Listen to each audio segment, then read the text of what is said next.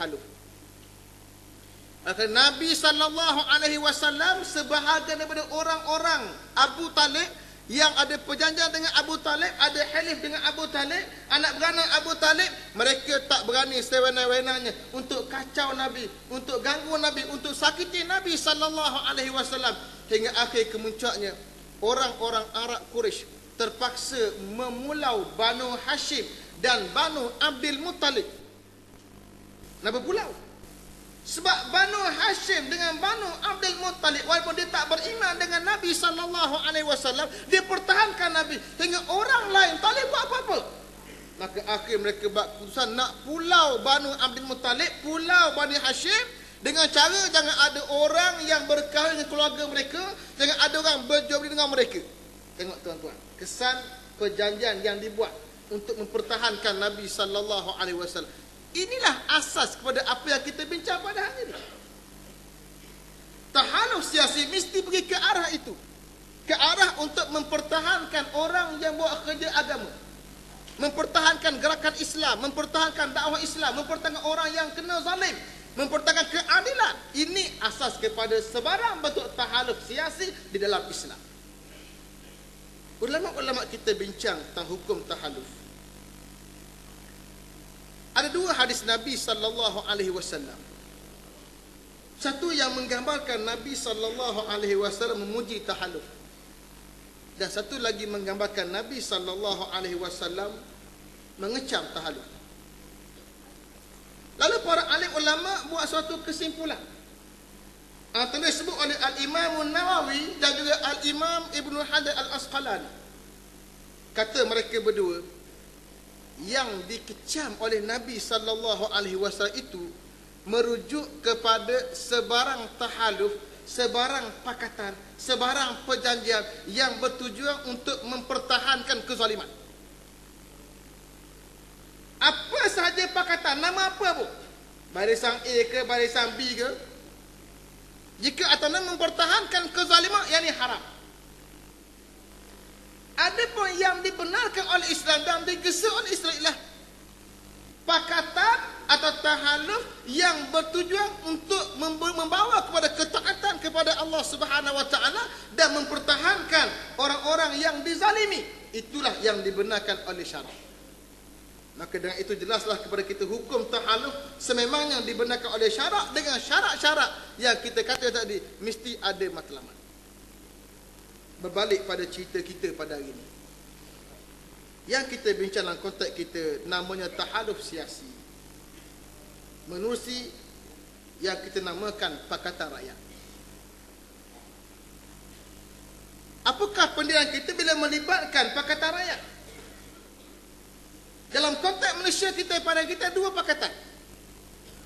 Satu pakatan namanya Barisan Nasional. Yang sudah memerintah sekarang. Pakatan Barisan Nasional yang ada pada hari ini semua orang tahu. Baca audit negara pun dah tahu dah. Berlaku banyak penyelewengan, berlaku kezaliman, ada hak orang yang tak diberikan, hak bukan Islam yang tak diberikan, hak orang Islam yang tak diberikan. Hak-hak yang sangat banyak, kezaliman yang sangat banyak. Maka dalam keadaan kezaliman yang sangat banyak itu, menyertai perkataan ini adalah apa dia? Tengok sendiri. Kita ni yang kedua. Pakatan rakyat. Pakatan rakyat disertai oleh parti-parti yang tentu sahaja mempunyai matlamat-matlamat yang berbeza. Pas kekal dengan matlamat dia tidak akan berubah. Parti yang lain pun ada matlamat masing-masing. Baik PKR, baik DAP, masing-masing ada matlamat. Tetapi ada suatu titik pertemuan antara kita dengan mereka yang membenarkan syarak yang syarak membenarkan kita untuk bekerjasama. Namanya ialah menentang kezaliman. Karena itulah intipati tahaluf siasi yang dilakukan oleh Nabi sallallahu alaihi wasallam. Maka atas titik bersama tadi untuk menangani kezaliman yang sedang berlaku pada hari ini, maka disitulah Majlis Syura Ulama Parti Islam se-Malaysia membuat keputusan bahawa menyertai Pakatan Rakyat adalah suatu pendekatan yang patut kita ambil untuk bersama-sama menentang kezaliman.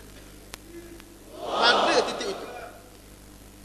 Tuan-tuan, bila mana kita meletakkan syarat pada titik tersebut, jangan ada bincang hal lain. Kita hanya bincang hal titik tadi. Bukan timbul isu macam mana kita, kita nak buat hudud. Di AP nampak tak berapa nak... Dok, dok, dok lah. Kita nak, kita ada matlamat kita. Kita ada perjuangan kita. Mereka juga ada perjuangan mereka. Kita nak A, dia tak nak A. Adakah perbezaan pada matlamat itu menghalang kita untuk kita bersatu sedangkan ada satu titik yang boleh kita bersatu? Tidak. Jawapannya kita boleh bersatu. Titik yang sama. Hari ini kita bersatu dalam konteks pilihan raya akan berlaku pada pilihan ke-13 ini pada titik bersama untuk menjatuhkan barisan nasional. Dengan keyakinan kita barisan nasional telah gagal untuk memberikan keadilan yang sepenuhnya baik pada orang Islam sendiri atau pada bukan Islam. Atas titik inilah kita bersatu. Cerita ha huduk, cerita ha inu, cerita kita biar dulu tangguh. Kita bincang ha bersama kita menentang kezaliman.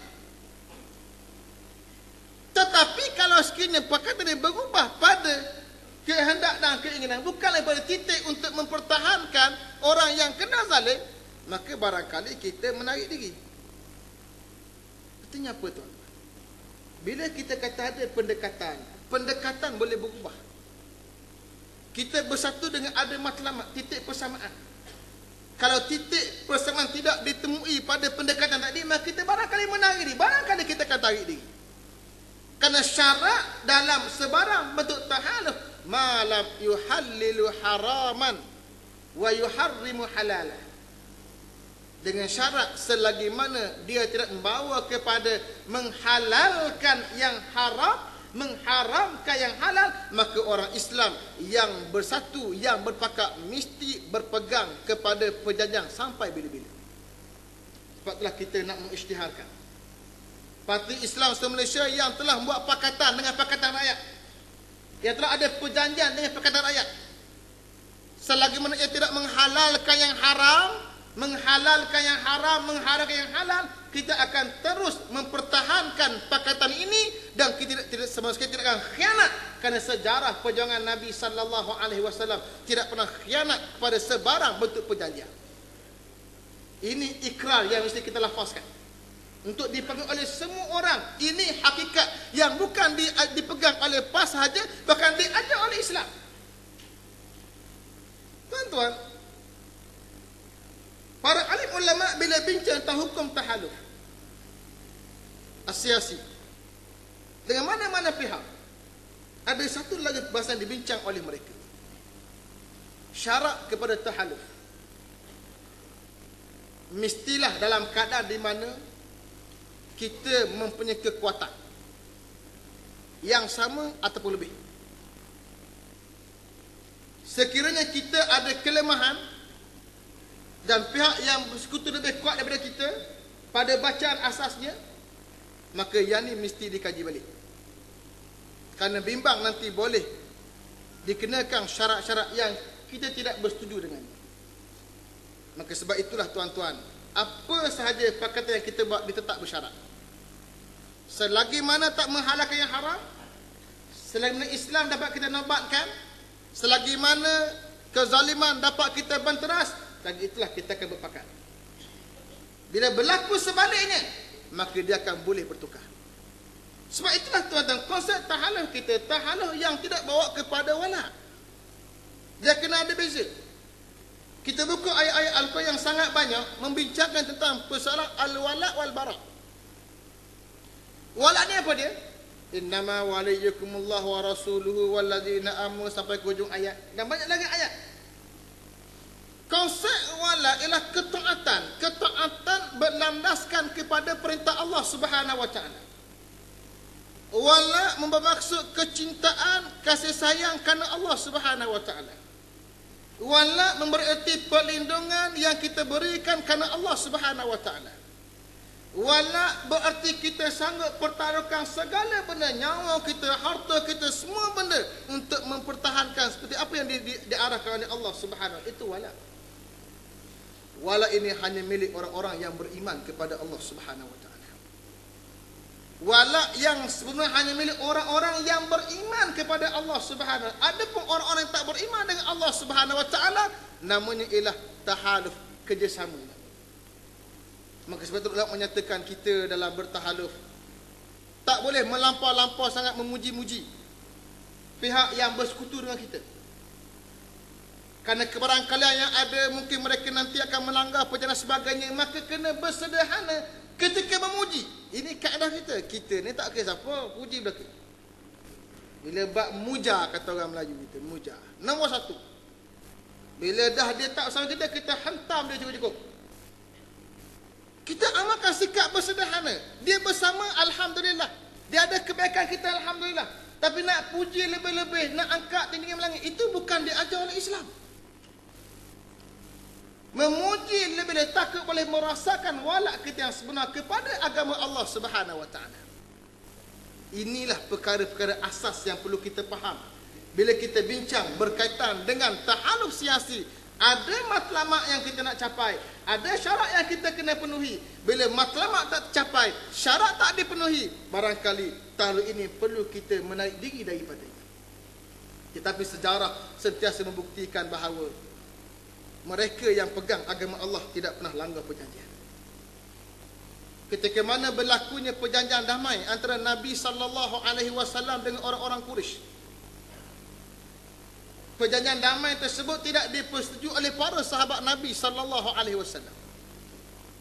Selepas tahun yang kelima hijrah Nabi sallallahu alaihi wasallam ketika itu orang Islam menang besar perang perang Khandaq tentera bersekutu Arab bukan saja Arab Quraisy bahkan Arab seluruh tanah Arab bersatu mengepung Madinah Al-Munawwarah dua bulan. Di akhir mereka balik dalam keadaan hina. Allah berikan kemenangan pada orang-orang Islam. Maka selepas pada itu orang Islam turun ke Makkah Al-Mukarramah beramai-ramai memakai pakai ihram menunaikan ibadah umrah sebagai pemulang awal menunjukkan kuasa Islam. Bila sampai ke tempat namanya Hudaybiyah tiba-tiba orang-orang Quraisy menghantar orang untuk buat suatu perdamaian dengan Nabi sallallahu alaihi wasallam. Bila hantar orang untuk buat perdamaian, Nabi terima. Para sahabat Nabi sallallahu alaihi wasallam semua dah setuju. Nak setuju macam mana dia kata, "Eh, kita nak menang lela dah." Sikit cueh lagi nak boleh Putrajaya. Nak menang lela dah kita. Apa benda pula buat perdamaian ni?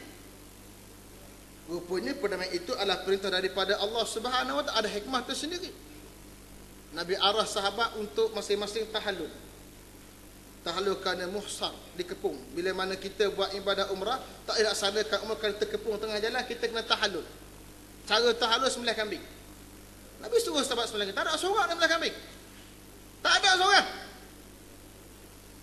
Nabi masuklah khemah berjumpa isteri. Mengeluh Nabi sebab orang tak ikut asau ni mereka derhaka pada saya kata Nabi. Lalu kata isteri Nabi sallallahu alaihi wasallam, "Ya Rasulullah, kamu buat dululah. Kepimpinan melalui tauladan. Buat dulu, orang ikut lah. Ni isteri yang bagus ni. Nabi keluar. Nabi keluar, Nabi pun semelih kambing. Sekarang Nabi cukur kepala. Sahabat tengok Nabi semelih kambing, cukur kepala. Baru terasa. Ya Allah, kita dah mencanggahi Nabi sallallahu alaihi wasallam.